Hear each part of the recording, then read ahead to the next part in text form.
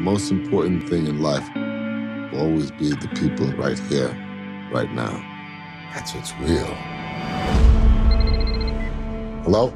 Dominic Toretto. You don't know me. You're about to.